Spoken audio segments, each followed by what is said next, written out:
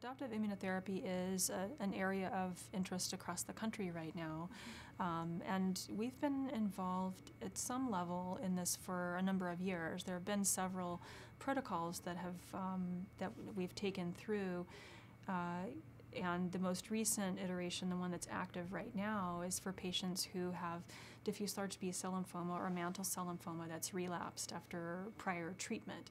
So those kind of patients have a poor prognosis, and generally speaking, um, transplant is is the appropriate um, therapy. But we're we're not thrilled with the with the results that we have. And for patients who go in with high risk, particularly if they've had difficulty achieving their first remission, we know that that transplant is is um, not a home run.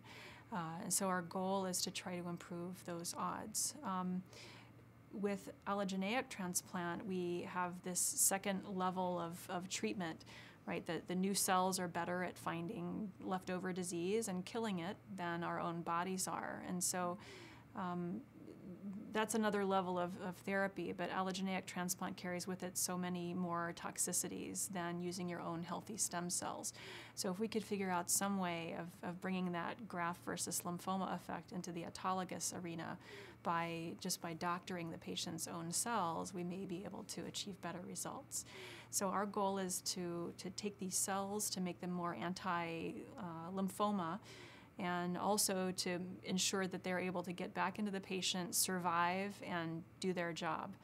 Um, and so right now that's still in the early stages. We're, we're still looking to make sure that the cells we give are, are safe and that they're able to survive, that we can track them and find them later, uh, six months or a year later after the transplant. Um, so that's, that's what we're doing right now.